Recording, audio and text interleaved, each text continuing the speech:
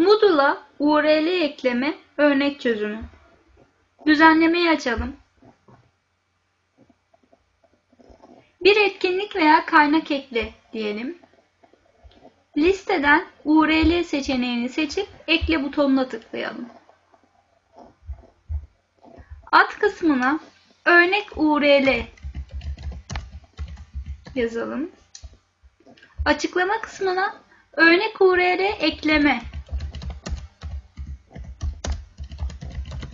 yazalım. Ders sayfasında açıklama göster diyelim. İçerik kısmına bir bağlantı seçin butonuna tıkladıktan sonra videoları ara kısmına Dropbox yazarak arayalım. Eklemek istediğimiz videoyu seçerek bu dosyayı seç dedikten sonra kaydet ve derse dön diyelim.